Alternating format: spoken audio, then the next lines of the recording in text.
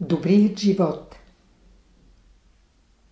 Беседа от учителя държа на предобщия окултен клас на 22 юни 1938 година. Отче наш Изпейте песента Блага дума на устата. Имате ли тема зададена? Не. Пишете върху темата Основи на здравето. Всеки човек трябва да се учи да мисли. Той се отнася до учениците.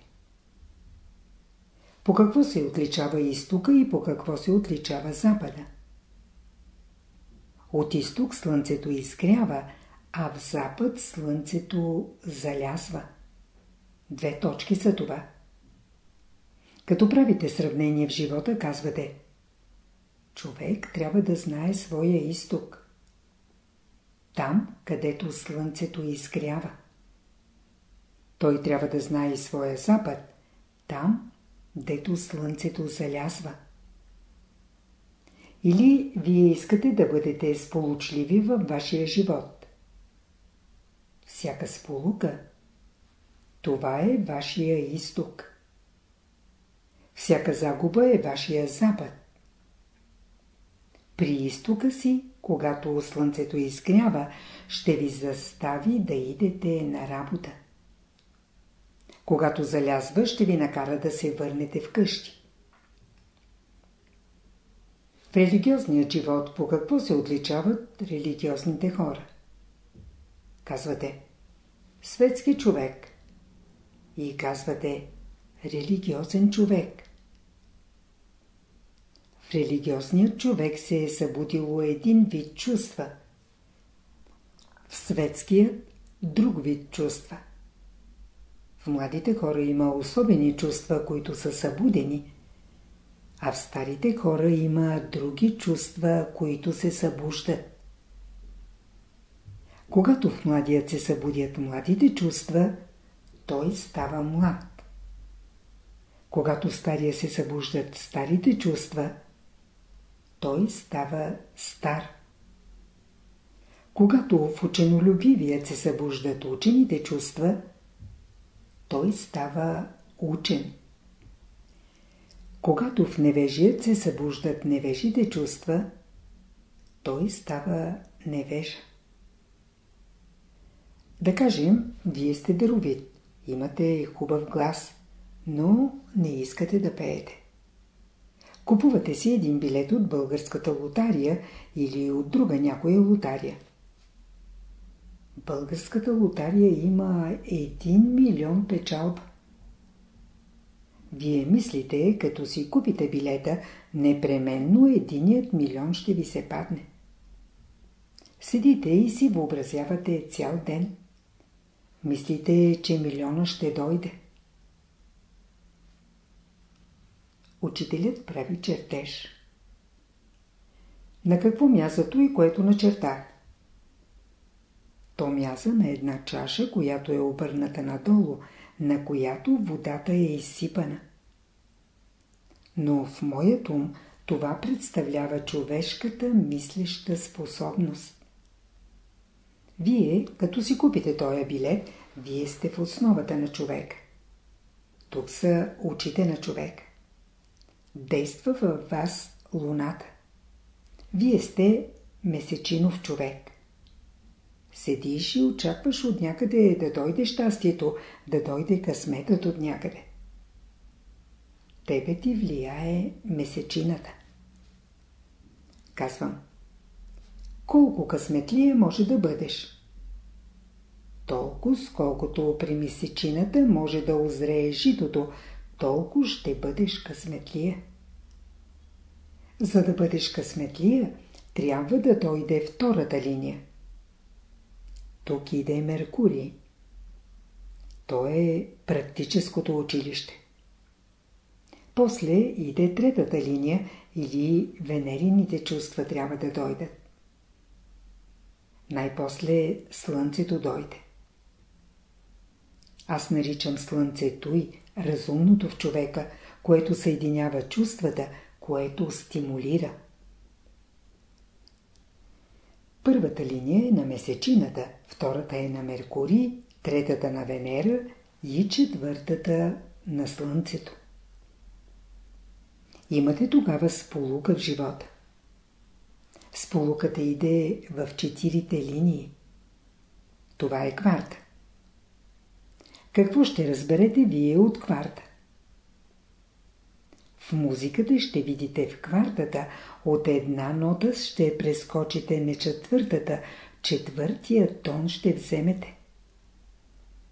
Значи в дадения случай 4 има съвсем друго значение. Върху някои неща, ако вие не разсъждавате, вие не можете да постигнете целта, към която се стремите. Някои разсъждават и вие търсите причината на нещата. И след като имате една несполука, вие започвате да мислите. Питали ли сте се някой път, като си вземете билет, защо не ви се пада? Вие трябва да изучавате закон. Пътят, по който вървят числата 1, 2, 3, 4, 5, 6, 7, 8, 9. Но то е наше разбиране. То е разбиране на бялата раса. Ако дойдете в семитите, те започват от обратната посока, от дясно наляво. 9, 8, 7, 6, 5, 4, 3, 2, 1. Тези хора имат две различни точки. Ако вие отдясно наляво отивате, вие сте човек, който отгоре слизате. Ако отляво надясно отивате, вие ще бъдете човек, който отдолу нагоре отива. Ако вие живеете като един семит, вие инволюирате, слизате отгоре надолу. Ако аз ви намеря да пишете по този начин, втория, зная, че някога вие сте били богат човек, разполагали сте с много средства, баща ви е бил имотен. Вие седите и не работите. Казвате. Баща ми е богат, от тук ще взема назаем, оттам. Вие разчитате на тях. А ако сте от първите, вие разчитате на себе си. Казвате. Я да се опретна, имам сили и способности.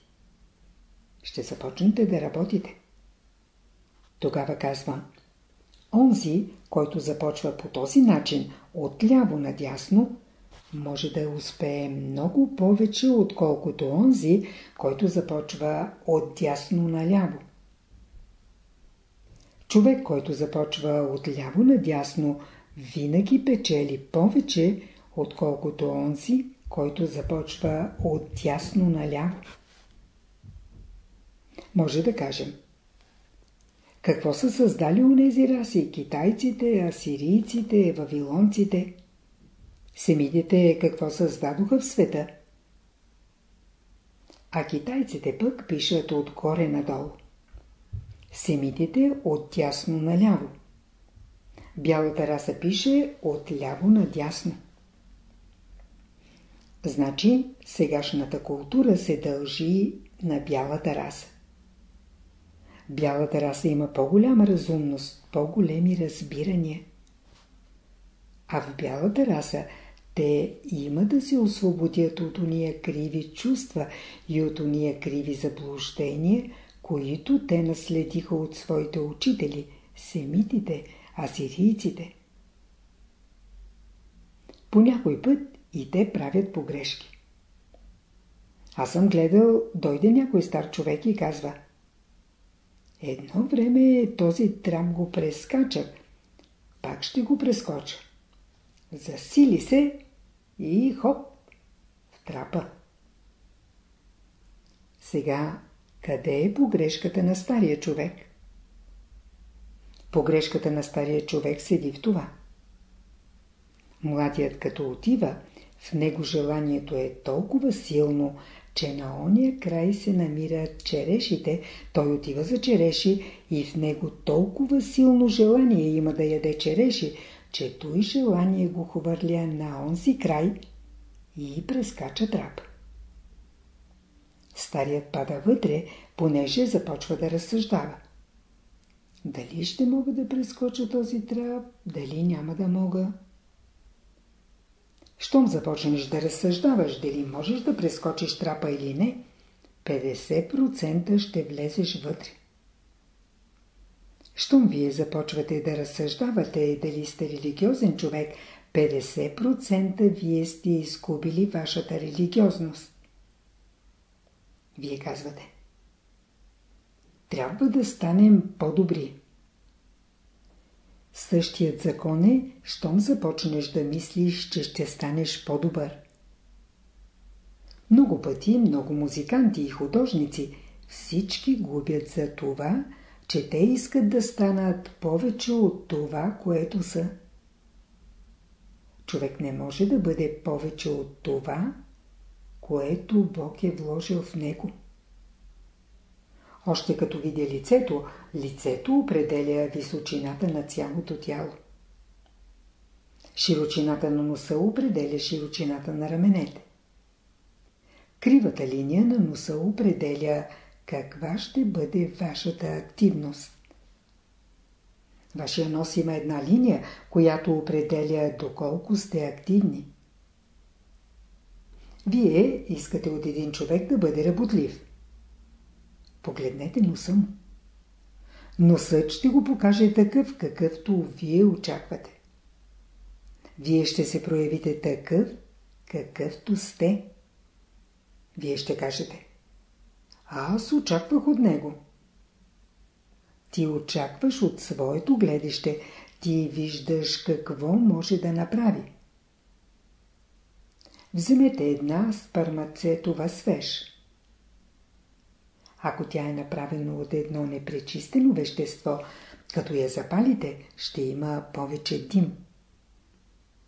Вие знаете, едно време имаше такива газеничета. Щом се остави да гори едно газениче вкъщи, сутринта, като станеш, като си изчистиш носа, всичко е черно. И като влезеш, цялата къща е мирисана от газеничето. Сега има голям прогрес. Електрическата свеж има съвсем друго горение. На някой от вас религиозните чувства са газеничета. В религиозно отношение някои от вас си служат с газеничета и постоянно излиза черно от носа ви. Той показва, че горенето във вас не е правилно. Та казвам. Възможностите сега във вас какви са? Вие се надявате, както казал баща ви. Баща ви казал. Синко, аз ще оставя всичко на теб. Ние се самоизлъгваме. Бащите са умни хора. Бащата никога не оставя своето имане на своя несретен син. Мислете хубаво. Бог никога не оставя своите блага на своите несретни синове. Всеки може да направи тази погрешка, но ако вие се учите, ако вие имате добро желание да работите, ще ви даде Господ нещо, но основни работи ще ви даде, с които ще се занимавате. Той, за което купнеете, няма да го постигнете. Някой от вас сега седите и казвате Дали аз като вярвам има Господ? Аз го виждам това във вашето подсъзнание. Дали в той, което аз вярвам, или не. Аз често проверявам дали добре пея. Не ходя да питам никого. Карат се двама души, аз отивам да си тънаникам. Пея си и те престават да се карат. Ако аз пея и те продължават да се карат, аз казвам. Не съм добър певец. Когато двама души се бият, аз се опитвам дали съм добър певец или не. Защо? Аз използвам този случай. Хубаво. Той сравнение какво ще ви допринесе? За пример, вие като станете сутрин, с коя дума започвате? Коя дума произнасяте?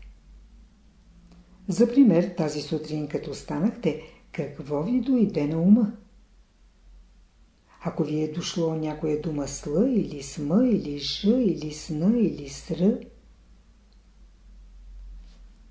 постиженията през този ден ще бъдат различни. Те са философски разсъждения.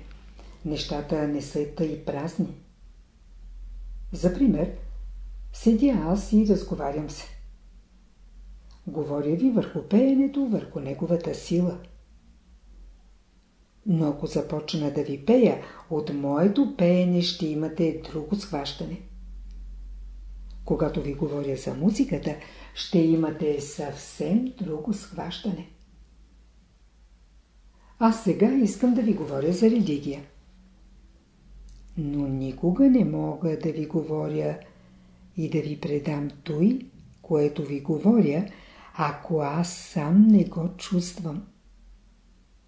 Никога не можете да предадете това, което сами не чувствате.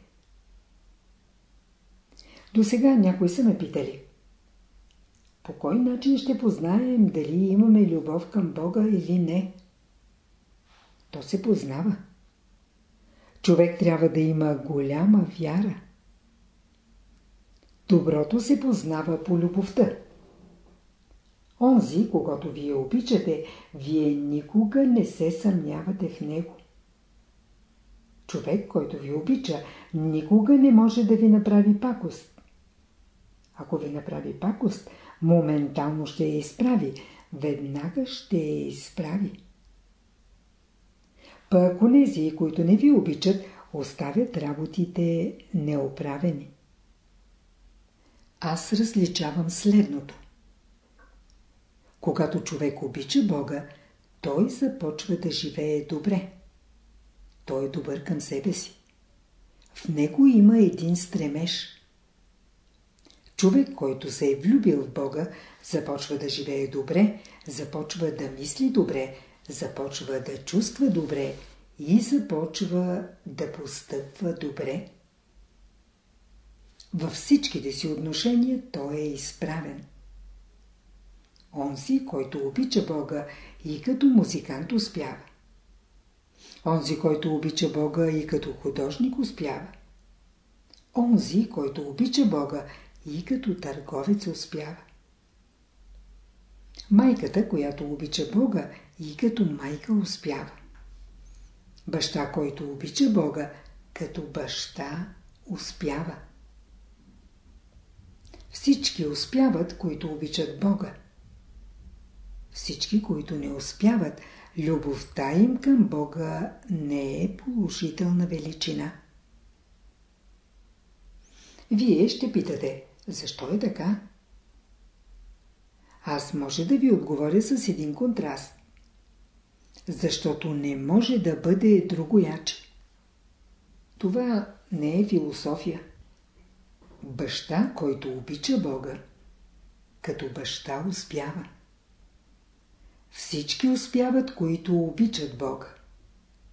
Всички, които не успяват, любовта им към Бога не е положителна величина. Вие ще питате, защо е така? Аз може да ви отговоря с един контраст. Защото не може да бъде другояче. Това не е философия. Така е.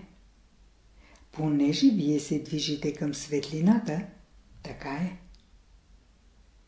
Следователно, Бог е една светлина надалеч. Колкото вие се приближавате към Него, светлината се увеличава. Всички неща стават ясни. Вие виждате какво е тяхното предназначение. колкото вие се отдалечавате, нещата стават неясни. Следователно, дайте на един човек в тъмното. Ако дам на 10 души, които имат хубаво зрение да видят конец в тъмното, колко души ще вдянат? Някои са майстори, даже в тъмното, като вземат конеца, вдяват. А другите, конеца отива нагоре, надолу, не може по никой начин да влезе. Та казвам. Мнозина от вас държите една посока.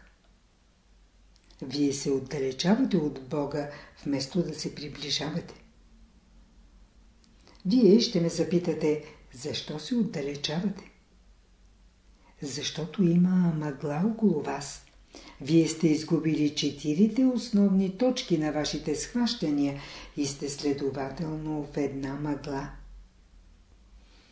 Ако нямаш компас, не може да знаеш на къде е изток, на къде е запад и тогава ще започнеш да се луташ. Преди две години една наша голяма група отиде горе на езерото Бъбрик. Там на извора седяха и падна голяма мъгла. Една група от 30-40 души тръгнаха за София, ние ги изпратихме до някъде. И като се върнахме, седим при извора. Всички мислят, къде ли отидоха? Сигурно казват, са минали хижата. По едно време гледам, срещам един човек, после една голяма група.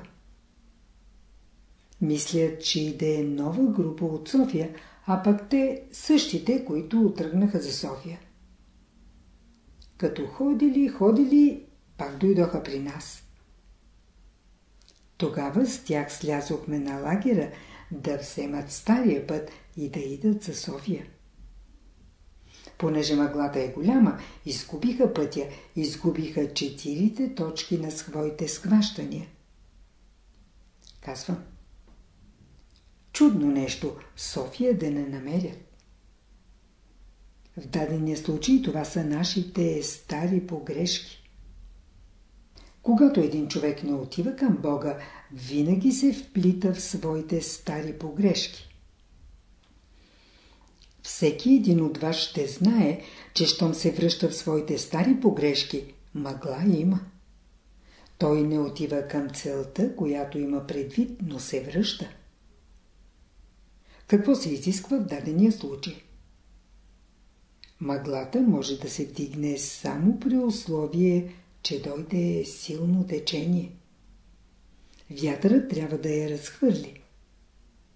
В човека трябва да дойде неговата мисъл, да започне да мисли. Всички трябва да започнете да мислите. Казвате, сериозна работа. Каква дума може да турите? С коя българска дума може да се замести? А, брат Белев, ти си лингвист. Намерете я тази дума, с която може да започнете. Питам. В човека любовта ли се роди по-напред и после думата любов? Или по-напред думата любов, че любовта от после дойде? Сега се пита. Светлината ли беше по-напред, че очите дойдоха после? Или първо бяха очите, че после дойде светлината? Светлината е съществувала преди очите. Очите отпосле се образуваха като едно средство. Та казвам. Наука трябва да развива зрението. Ако си музикант, трябва да развиваш слуха. Ако си човек на етиката, трябва да развиваш носа. Ако си човек на любовта, трябва да развиваш езика. Ако си човек на правдата, трябва да развиваш осезанието, да чувстваш. Ние трябва да възстановим чувствителността. Осезанието във всички хора не е нормално. В някой вкусът, в някой слухът, у някой обонянието, а у някой зрението не е нормално. Вие видите нещо и казвате, това е грозно, онова е грозно. Има някои неща, които внасят във вас страх. То е вашето зрение. Вие имате една опитност. Вас ви е страх от змии. Ако вие видите змия, вие побягвате от нея. Като види някой змия, него му е приятно, той ще иде да я лови. Ако някой щъркел види змия, дойде до някоя змия, ще я хване, ще я понесе казва «Намерих нещо за ядене». Ти бягаш, а щъркелът като срещне змията, той я хване.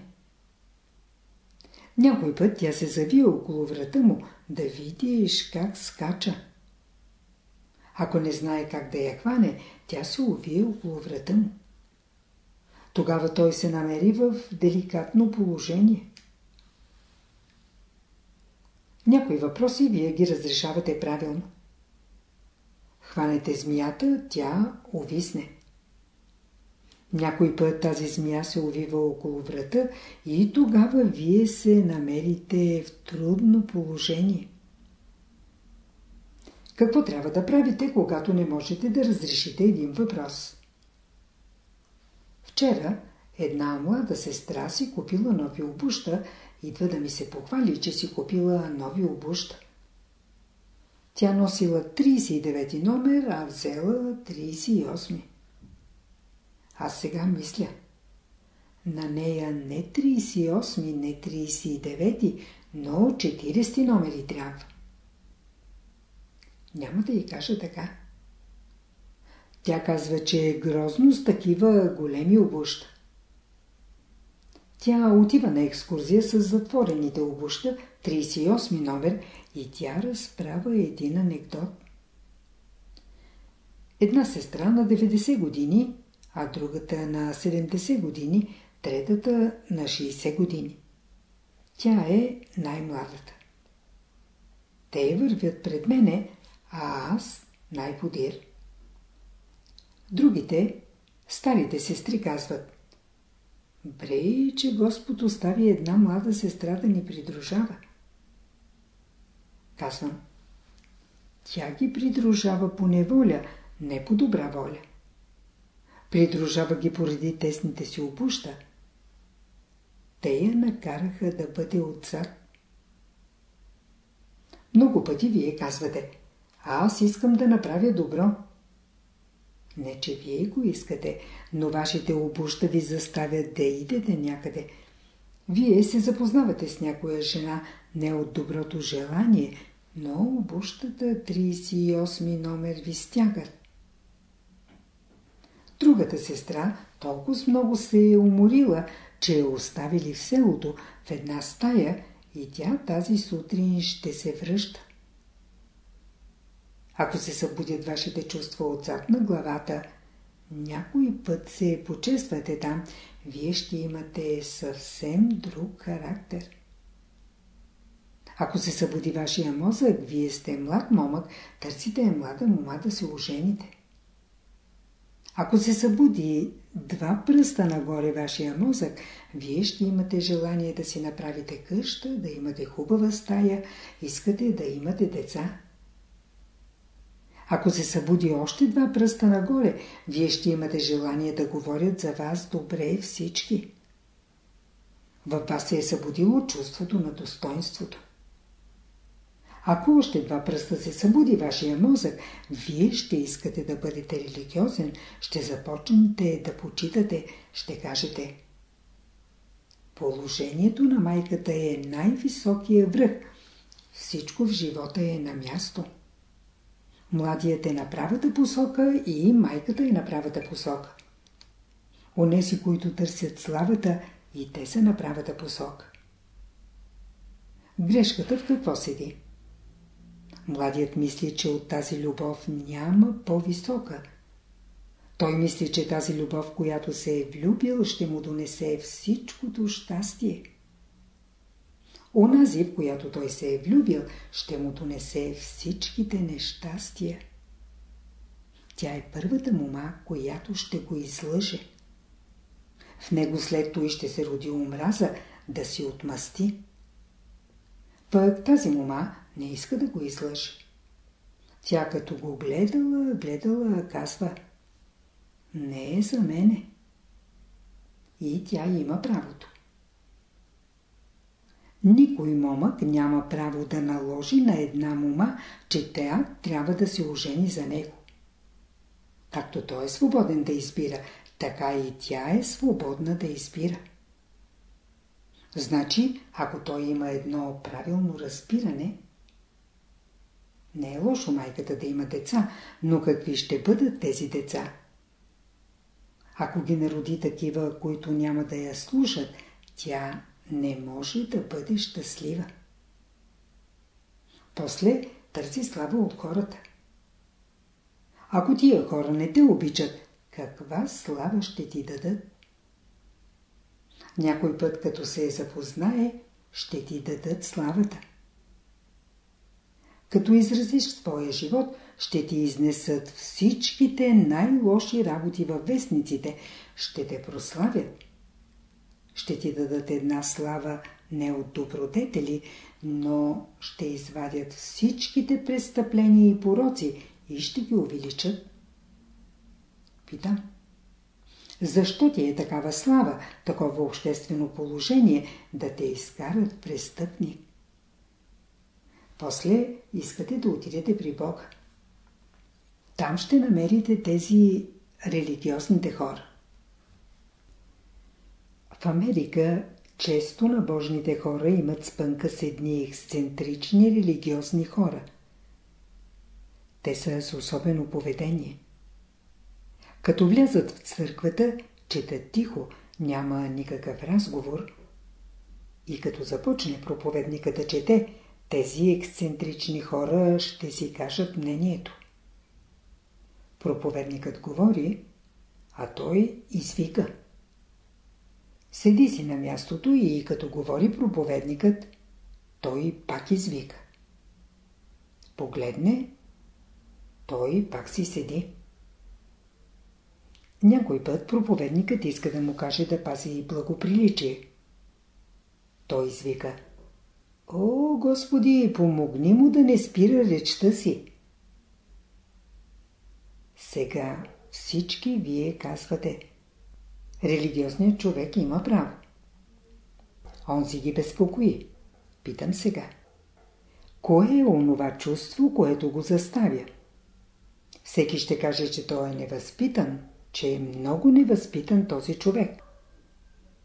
Много находчиви мисли казват. Някой път в църквата, в която има много хубави столове, от хубаво кадиве направени, някой от тези ще влезе в най-богатата църква и ще седне на някой стол. Иде някой жена си с децата си, този американец поглежда учтиво. Той седи спокоен. Той не знае, че това кресло е направено за друг. Той седи спокоен и гледа. Он си го пита. Знаеш ли на кого е това кресло? Не зная. Той му казва. Това кресло е на мене. Казва. Радвам се, че е твое.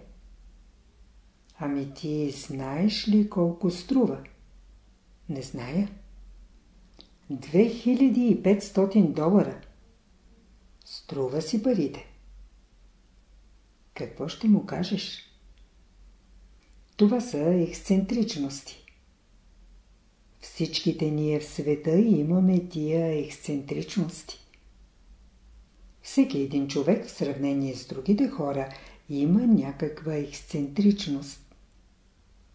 Някои чувствата са по-силно развити, някои са по-слабо развити. Някои чувства са по-силно развити, а някои са по-слабо развити. Някои способности са по-развити, някои по-слабо. Когато в художника се развият тия чувства на художество, той художник става. Когато в музиканта са развити способностите, музикантът трябва да има музикални чувства. Ти не можеш да бъдеш музикант, ако нямаш той чувство развито. То се мери по широчината. Има един ръб отстрани на главата и по този ръб се мери. Той има едно чувство, което определя ритъма на музиката.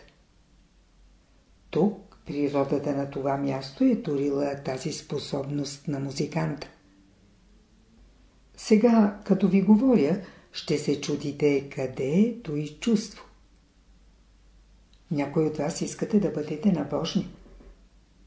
Набожността е горе на главата. Ако главата горе е издадена, този човек е набожен. Три качества има набожността.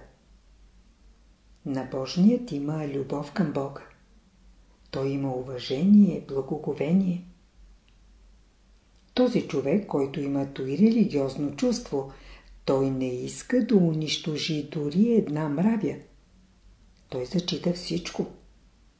Той счита даже и камъчетата свещени.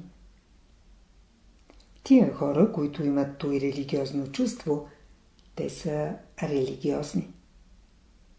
Казвам. Ако той чувство от тебе не е развито, ти никога не можеш да бъдеш толкова деликатен. Казвате. Човек трябва да бъде деликатен в своите чувства. Та казвам. Ние в сегашния век се нуждаем от деликатност в нашите чувства. Ние не сме деликатни да усещаме страданията на хората. В дадения случай да чувстваш и да знаеш как да им помогнеш. Гледам, един човек се отчая от живота. Казва, няма за кого да живея. Отчаял се, отвращение има от хората. Този човек, понеже неговите работи не вървят, трябва да му дадеш противоположното чувство в себе си. Този човек изисква да му каже само една-две думи и всичките работи ще се оправят. Кажи му и веднага този човек ще се измени, всичките работи ще се оправят. Той за пръв път слуша такова нещо, никой до сега не му е казвал. Той си казва, твоите работи няма да се оправят. Ти и деца имаш, нищо няма да излезе от тях. Ти имаш и една жена. Кажи му. Твоите работи ще се оправят. Ти имаш отлична жена. Кажи му така, макар и да не е отлична. Кажи му, много добра жена имаш. Я виж онзи видния професор, когато вземе някой ученик, от него музикант изкарва. Ако е някой, който не разбира от музика, макар че е даровит, какво ще му допринесе на даровития човек? Да кажем, вие започвате една песен. Е, е, е. Учителят пее. Или да кажем, вие започвате с ако сега турите М или Е, тогава гласът къде ще дойде? Или ако турите А, или ако турите И, къде ще дойде гласа? Или ако турите Е, А, къде ще дойде гласът? Така съм. Щом като аз кажа Бог, веднага в мене трябва да се събуди той чувство, което съответства на Бога. Тъй, щото аз трябва да обичам. Само Бог е в света, който може да събуди той чувство в нас. Никой друг не може да събуди той чувство. Другите може да събудят други чувства. Единственото същество, което може да събуди той чувство, то е името на Бог. Ти като дойдеш до него, той ще го събуди. Ако той чувство се събуди, ти си намерил Бога. Ако не се събуди, ти носиш някой лъжлив Господ. Казваме, че човек трябва да разсъждава. Ти, ако си намерил истинската философия, има хора, които може да събудят в тебе тия способности, причините на нещата да знаеш. От тебе музиката не може да се събуди от кой да е човек. Само един музикант може да събуди той чувство. Който не е музикант, не може да го събуди. Когато ти намериш истинския музикант, той трябва да събуди това чувство. Следователно, всеки, който иска да стане музикант, трябва да намери един истински музикант. Всеки, който иска да стане художник, трябва да намери истинския художник. Каквото вие искате в света да стане, непременно трябва да имате един модел. Тия модели съществуват. Значи съществуват ред същества, с които ние трябва да се запознаем, които ще предизвикат в нас тия благородните чувства, тия благородните способности, чрез които ние ще можем да се повдигнем. Вие казвате, че по някой път вие мислите. Казвате дух. Какво нещо е духът? Имате много погрешни схващания за духа. Духа е най-сигурното. Христос казва, Духът, който аз ще ви изпратя, той ще ви научи на всичко. Онзи дух, който научава човека на всичко, той е Божественият дух. Онзи, който не те научава на всичко, той не е божествен. Всеки един дух, който дойде в тебе, той трябва да те научи. Не само на едно нещо, но трябва да те научи на всичко. Писанието казва Изпитвайте духовете от Бога ли са? Духът, който е от Бога, той ще ви научи на всичко. Този, който не е от Бога, той ще ви научи на това, което не е.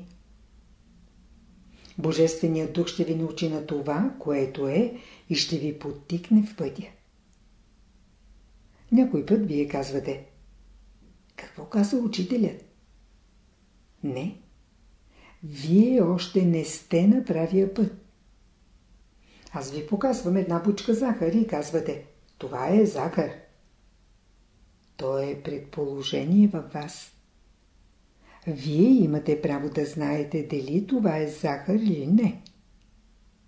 Ако ви дам тази бучка и вие я турите на вашия език, той ще ви каже истинска захар ли е или не. Може да имате белият цвят, да ви се представя един предмет като захар, без да е захар. Онова, което може да събуди реалното и идеалното във вас, то е божественото. Всяка една мисъл, всяко чувство, което събужда идеята за идеалното, за реалното в света, то е правото. Аз ви говоря, а вие казвате, че до сега ние не сме ли намерили Бога? Ако вие сте видели само един професор, каква е ползата от виждането на професора? Този човек е на изкуството, на художеството. Започва да ви учи. Знаете вече всяка линия как да определите. Рисувате един човек. Как ще определите правата линия на доброто? Или правата линия на неговия талант? Или правата линия на неговата твърдост? Или искате да покажете, че е постоянен? Как ще покажете, че е постоянен?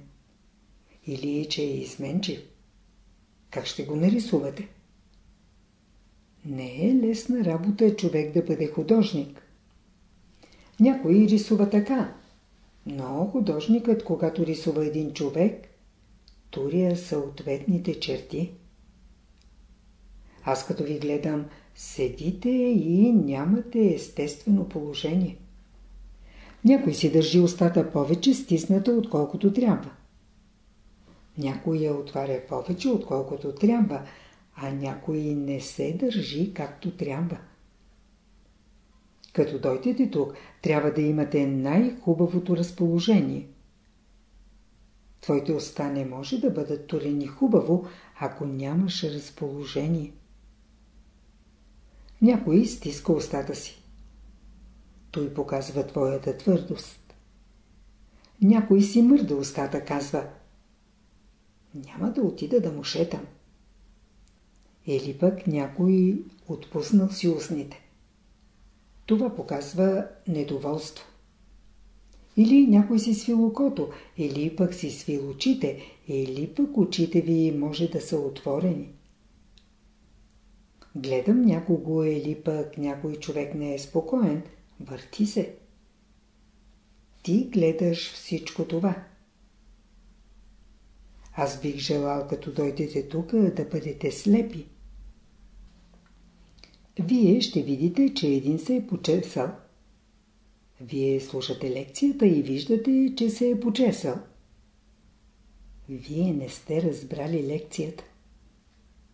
Човек, който е дошъл да учи Божественото, той трябва да слуша. Всичките неестествени движения нищо не значат. Той мърда езика, очите си. Когато изучава човек себе си, когато мисли върху себе си, оставете погрешките на хората. Вие искате да изследвате човека. Има някои анормалности в човека, намерете ги. Анормалности значи над нормата. Има едно състояние специфично в човека, при обикновените условия се заражда. Вие искате този човек да бъде търпелив, но знаете ли, че търпението то е за гениалните хора? Кой от вас има търпение? Аз съм ви дал онзи пример. Отива един ученик в Индия при един знаменит учител и иска да го учи на любовта. Учителят му го праща за един опит. Ти, казва, ще идеш при един военен, полковник, и ще му удариш една плесница. Ще се покаже смел. После има един брамин. Той тъмън се моли и на него ще удариш една плесница. После има един голям мъдрец, един голям адепт. И при него ще идеш. И на него ще удариш една плесница и ще дойдеш да ми кажеш какво е станало. Ученикът става, отива при военния и му удря една плесница. Той му удря две плесници, като рва го на земята отива при брамина, който се е молял и на него му ударил плесница. Той повдигнал ръката си да отвърне, но после си спуска ръката надолу и не го удря. Най-после отива при адепта и на него удря една плесница. Той не усетил като че нищо не се е случило. Връща се и разправя на своя учител. Казва. Опасно нещо е да се удари плесница на полковника. Аз му ударих една, той ми удари и две. Паднах и се обърнах два пъти, като го ударих. На другия, на брамина, като му ударих една плесница, той само повдигна ръката си, не ме удари и я спусна на земята. А като го ударих адепта, той даже не се помръдна. Казва му учителят. Ти може да намериш Божията любов само като адепт. Ако ти, като военния, като ти ударят една плесница и ти удариш две, не можеш да намериш Божията любов. Ако си като брамина, който повдига ръката си, но не удря, пак не можеш да намериш Божията любов. Но ако си като он си адепт, който така се е вглъбил и нищо не усеща, нищо не усеща, което става отвън, тогава може да те посети Божията любов. Докато ние се безпокоим за най-малките работи в света, Божията любов не е в нас. Това е далечно състояние. Един ден си разположен, на другия ден не си разположен. Ние трябва да имаме едно чувство вътре в себе си. Всякога трябва да бъдем разположени. Аз не казвам, че на повърхността водата да не се вълнува. Вълнува се. Но долу 30-40 метра надолу е тихо и спокойно. В твоите глъбини на душата там да бъде спокойно. Някой път 10 метра от повърхността може да има вълнение, но долу от дъното трябва да има спокойствие. Сега вие искате и отвън да не се вълнувате. Отвън не може. Ще се вълнуваш. Но дълбоко в душата си да бъдеш спокоен. Че ти се вълнуваш външно. Нищо. Необходимо е. Сега не разбирайте криво, че човек не трябва да се вълнува. Вълнуването произвежда обновяване. Всяко развълнувано чувство в човека е процес на обновяване. Защото ако не се вълнуваш, ще дойде едно чувство на безразличие на живота, защото когато тази вода изгубва своята преснота, започва да се образува една миризма. Има някои гниещи вещества. Всичките води, които текат, които се движат, те се опресняват. Някой път вие казвате Защо са страданията? Страданията са за опресняване. Ако нямате страдания, ще ви сполетят два пъти по-големи нещастия, отколкото сега. Всичките страдания ни опресняват. Някой път страданията не постигат тази цел, но изобщо страданията опресняват. Човек ако страда, той се подмладява. Когато говоря за страданията, разбирам божествения процес, при който чувствата се опресняват, движението на тия чувства. Когато дойдат страданията, вие трябва да отправите ума си към Бога. Той, като гледа на всичките твои страдания, той помага всякога. Бог е толкова внимателен. На всички помага. Когато вие страдате, вие сте пред зрението на Бога. Той намислил да ви помогне. Ако не го спрете в Неговата помощ, благословението ще дойде. Някой път се намесите и казвате, защо са тия страдания? Тия страдания са, за да ви помогне Господ. Щом страдаш, ще ти помогне. Роптаеш ли, няма да дойде помощта. Ще чакаш. Може дълго време да мине. Колко дълго време? Дългото време е от вас. Ако Божието благословение закъснее половин час, роптали сте.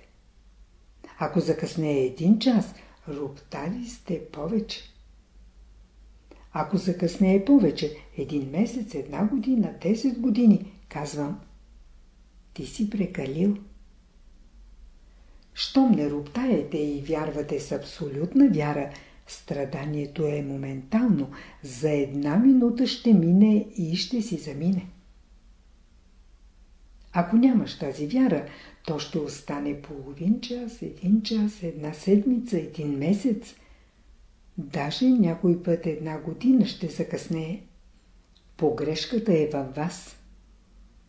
Ако седите по три години в един клас, вашите учители ли са, които искат да ви задържат в класа? Причината сте вие. Ако минавате два класа в годината, значи способни сте, много учите. Ако минавате по един клас, нормално вървите. Сега желая ви поне нормално да минавате класовете, да не седите по три години в един клас. Да вземем песента Фир. Как бихте я изпяли по Бога? От божествено гледище как бихте изпяли Фир Фюрфен? Като срещнете един човек, да му направите една услуга, че през целия си живот да е радостен, че сте го срещнали, че сте били внимателни и че в него сте оставили едно чувство. Отиваш да правиш услуга. Как трябва да се направи едно добро? Аз ако съм на ваше място, ето как бих направил.